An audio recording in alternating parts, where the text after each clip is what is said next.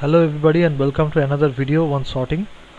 So this will be our last video on sorting and in this uh, video we'll take a look at the insertion sort mechanism. So in our previous videos we have already studied the bubble sort mechanism and selection sort mechanism and now it's our turn to learn more about the insertion sort.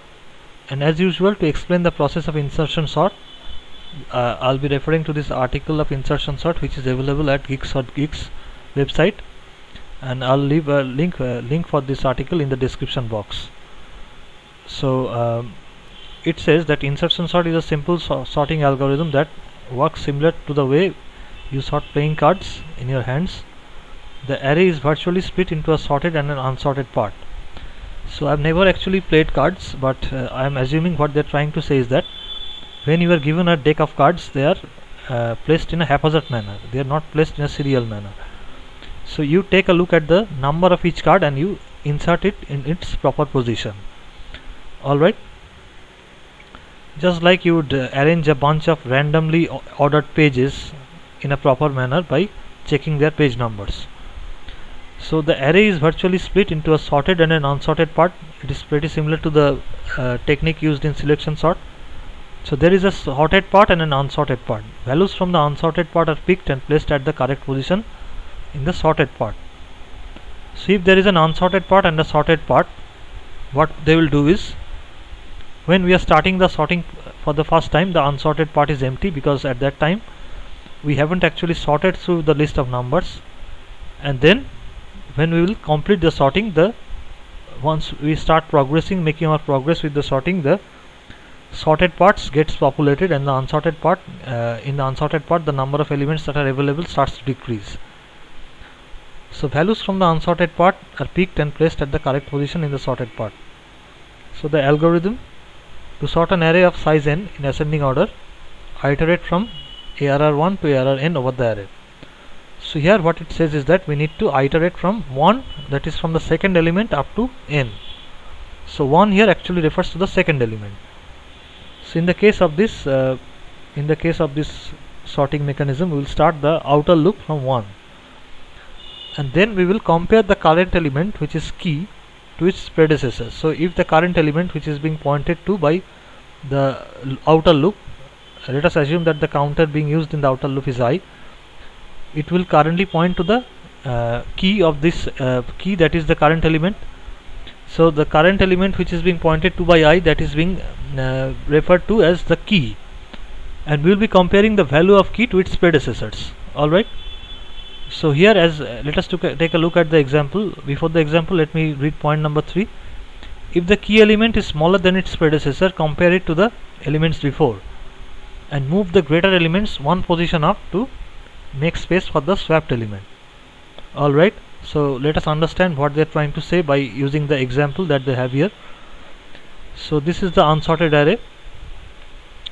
And here we are starting our sorting from number 3 which is i equals to 1 and we have another loop which will compare these 3 to the predecessors of 3 and if they are found to be out of order or out of place what they, they will do is they will shift 4 to the position of 3 and then they will copy 3 to the position of 4 alright so before we can insert so before you can insert so let us assume that this 4 and 3 these are two pages of a book. So we have page 4 in the beginning and page 3 after that. So they should be uh, reshuffled or reordered to represent the proper sequence. So to do that what we need to do is we need to take page number 4 and we need to place it at the position that is being held by page number 3 and then page number 3 needs to go before page number 4 so that is what they are doing here. They are simply taking number 4 and they are shifting it towards the right that is to the position being held by 3 and then 3 is being copied to position 4 and this shifting to the right continues as long as there are numbers which are bigger than 3 but here we can see there are no other numbers which are bigger than 3 only 4 was the only number. So let us move on to 2 so as far as 2 is concerned we can see the, there are two predecessors of 2 which are bigger than 2 so we need to shift both both of them towards the right.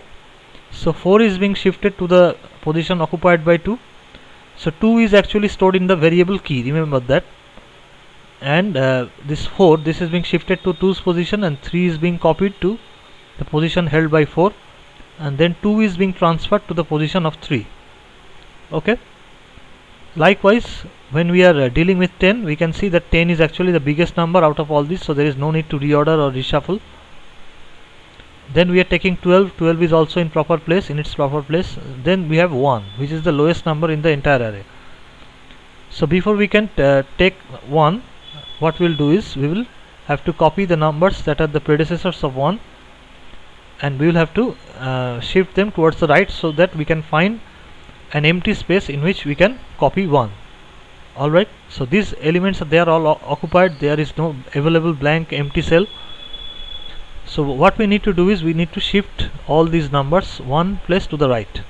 Because 12 needs to go here 10 needs to go in the position held by 12 4 needs to go in the position held by 10 3 needs to go to 4th place and 2 needs to go to 3th place.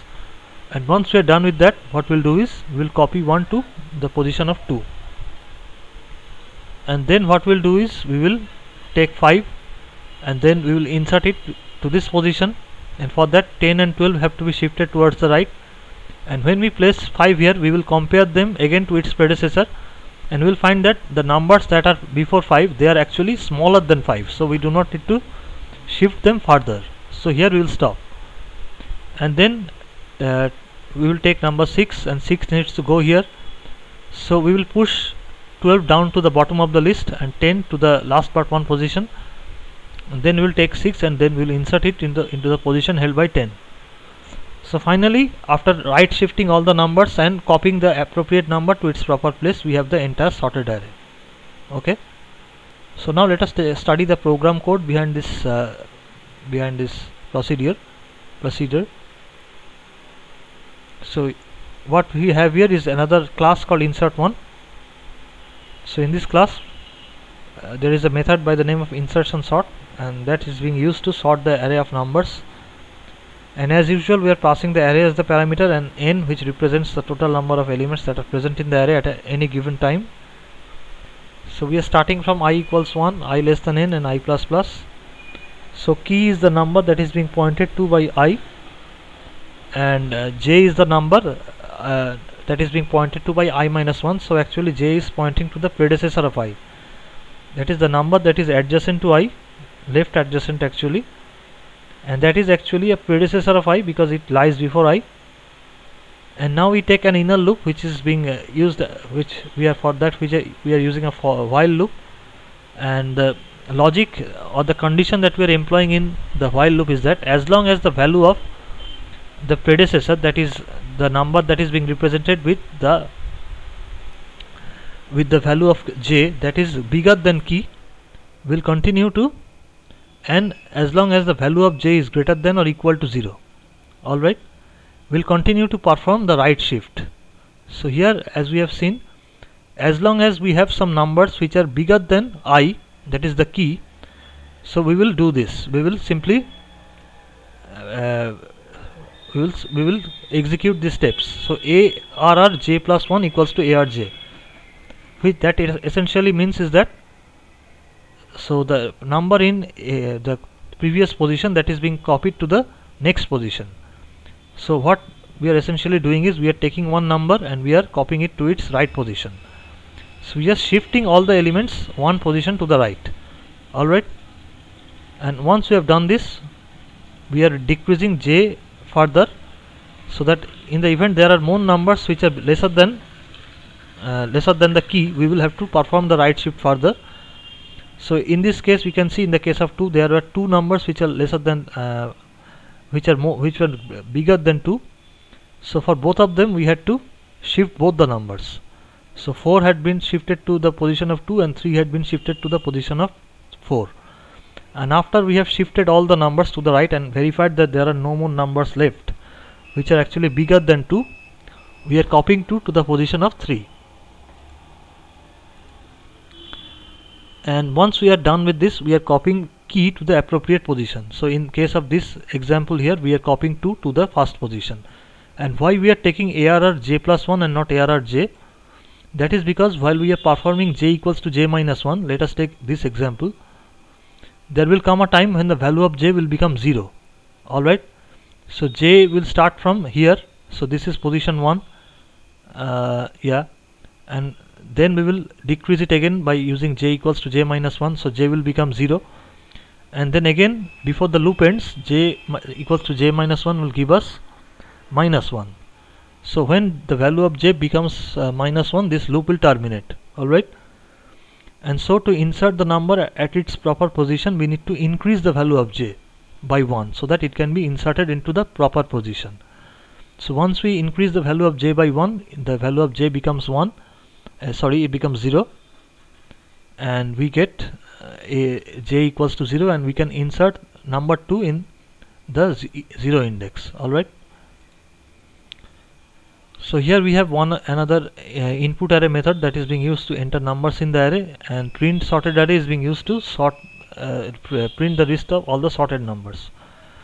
And in this another uh, main method we have an object of the insertion class and then we have the array itself and a number which is being used to control the numbers which are which the amount of elements that will be entering into the array at any given time.